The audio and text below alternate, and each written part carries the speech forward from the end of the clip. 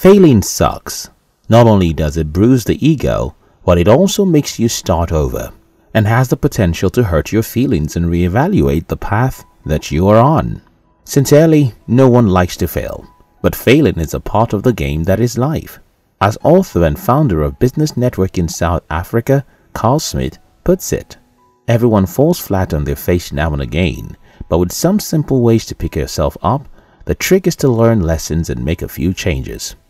In this video, I will share with you 9 steps to take you to start life again after failure. 1. Accept responsibility for what happened. The first thing you should do after you have failed is to accept it and come to terms with it. Don't ignore it, deny it, or hide it. Trying to ignore or deny the fact that you have encountered failure does not in any way reverse the situation. It only makes your bouncing back more challenging to occur. Understand that failure is an event that happens all the time and accepting that you failed does not make you a failure. Although when it comes to failing, our egos are our own worst enemies. It never wants us to accept the fact that we are responsible for our failures. Passing the buck, however, is a sure recipe for disaster. Thus, you must endeavor never to blame others and hold them responsible for your failures.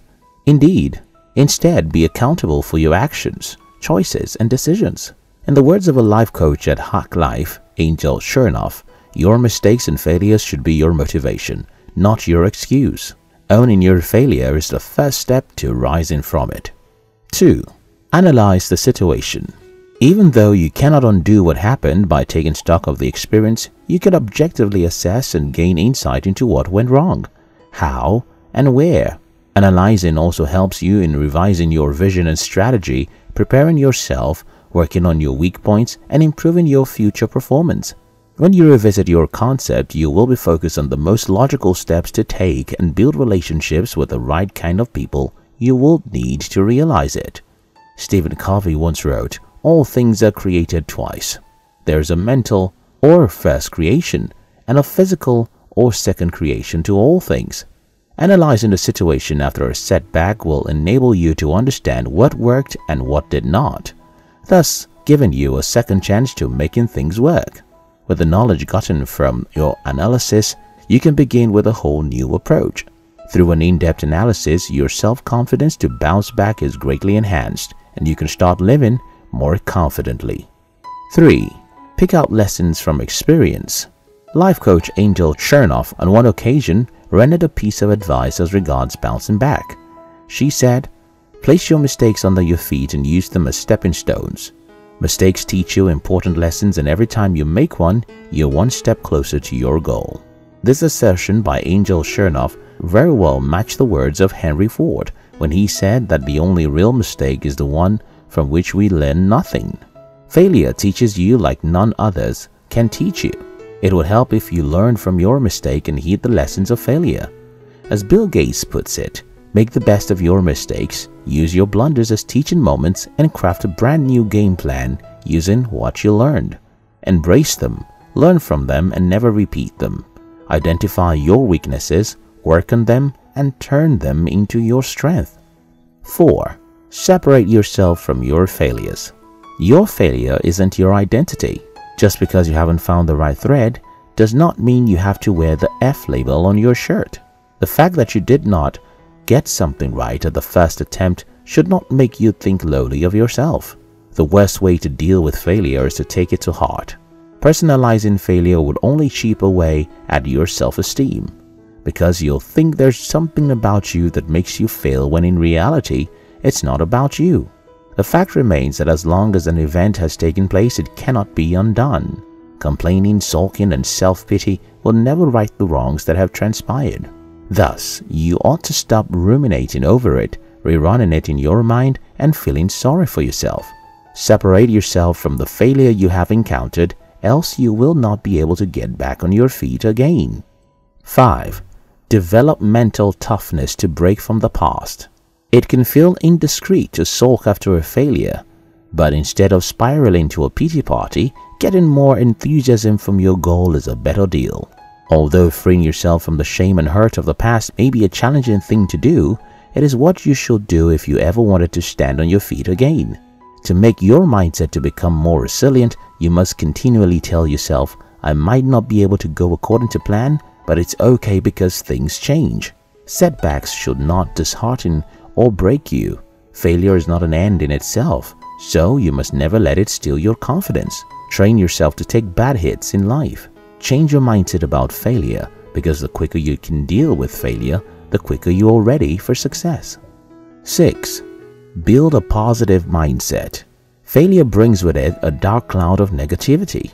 You begin to question yourself and start to doubt your ability. Positive thoughts are the last thing on your mind, but they are what you need to get back standing. Recovery and rebounding take time.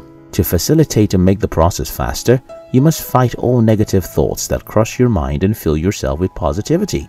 To build a positive mind frame, look at failure more as a learning experience and less as rejection. The more you change your perception, the more you'll find yourself experience more positive emotions than negative. Also, look back and reflect on your own life, how you faced past failures and overcame them. Nothing can inspire you more than your personal experience and your own success story because those experiences assure you that you have dealt with it before and can do it again.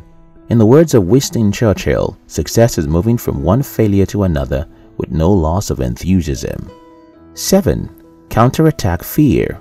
When you face defeat, you are engulfed by fear and self-doubt. Feeling bad and beaten up after a failure is a normal emotion that surfaces after a setback. However, you shouldn't let yourself think broken for too long else the fear lingers and you will not be able to move forward. Rather than allow the fear to grow, face it and fight it. One of the most effective methods of fighting the fear of failure is countering it with the joy of success. Even amid your pains and failures, you can let yourself feel happy. Think of all the times in the past when you have succeeded, as well as how it would look like if you succeed in your next task. Open up your heart to feel the rush of emotion that comes along with those thoughts about success. The intense feeling of happiness and fulfillment that comes along with being successful often overpowers the fear, so that the only emotion you feel is faith and accomplishment. 8. Focus on performing better. Everyone faces failure, but how you look at it and what you do about it is what makes all the difference. Although failure can also be because he's just plain unlucky, many times it happens because a person wasn't able to prepare well, didn't plan properly, or was ill-equipped. Failure shouldn't stop you from trying out something new. Instead, it should make you stronger and better prepared for new projects. When you disregard the last failure, you can fix yourself to do better next time. So please make a list of all the things which you think contributed to your failure and start working on them, one thing at a time. Everything within your power to rectify, resolve, improve, develop and put right once you've recovered, you are better equipped to chase after more dreams and more secure in knowing that you've once survived a failure. 9. Launch again. One thing that failure does if you let it is that it cripples the faith you have on your abilities. Over time, failure has been said not to be the opposite of success, but the opposite of making attempts. Successful individuals are those who continue to try even after failing, whereas unsuccessful individuals give up on themselves after a setback. In the words of American author and former dot-com executive Seth Godin, the only thing worse than starting something and failing is not starting something. Don't let your failed projects and work consume you. Get back up and try again. In the words of South African anti-apartheid revolutionary and former President Nelson Mandela, the greatest glory in living lies not in never falling, but in rising every time we fall. Imagine if Harry Potter author J.K. Rowling hadn't pulled through and persisted with her vision. Consider if Thomas Edison relented in his quest. Would there have ever been Harry Potter, the bestseller book and movie, or the invention of the light bulb?